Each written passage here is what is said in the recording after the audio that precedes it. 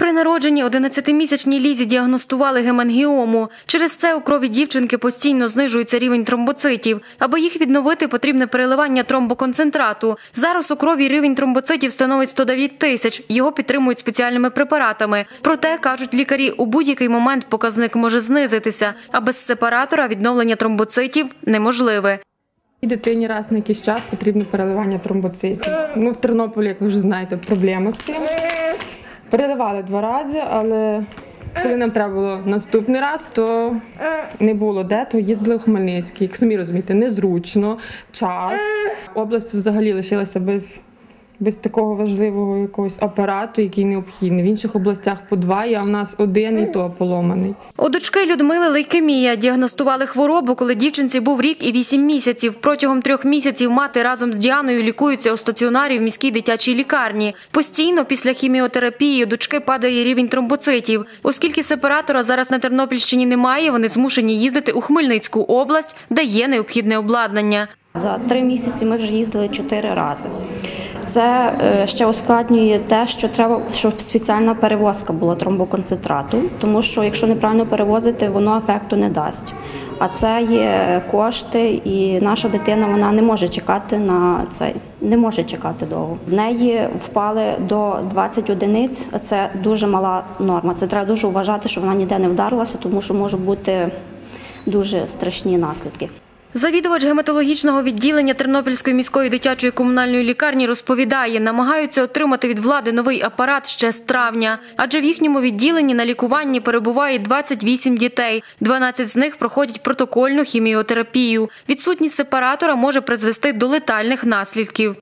Тромбоцити відповідають за згортальну систему крові. В них можуть бути крововиливи, кровотечі, які можуть бути часом несумісні з життям. Це є дуже важливо і вкрай необхідно. Ми зверталися в обласну ми зверталися в обласне управління охорони здоров'я з неодноразовими листами про те, що нашим пацієнтам е, цей препарат, цей апаратура ця необхідна і то терміново. Старий сепаратор ремонту не підлягає. В обласній станції переливання крові кажуть, аби купити нове обладнання, потрібно 2 мільйони гривень. Виготовляють такі сепаратори у Сполучених Штатах Америки. Аналогів немає навіть в Європі. Розрахований він на тисячу процедур, тобто працюватиме більше трьох років.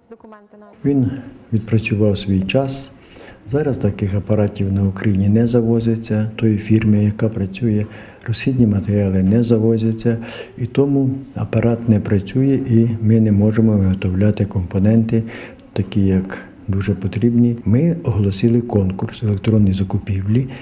Два дні тому вартість апарата обладнання коштує 2 мільйони. Це є бренд Сполучені Штати Америки. І розхідні всі матеріали теж їхні. Вони всі сприяють тому, аби були додатково додані ті гроші, тому що якщо оголоситься конкурс, хтось виграє, треба платити гроші, проплачувати, отримати апарат і починати продовжувати ту всю роботу, яку ми робили раніше.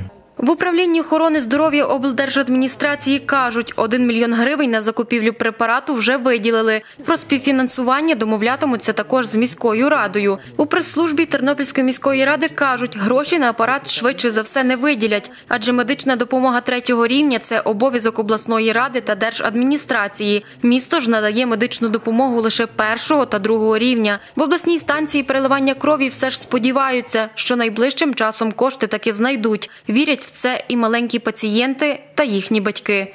Богдана Сарабун, Василь Панчук, Вісті ТТБ.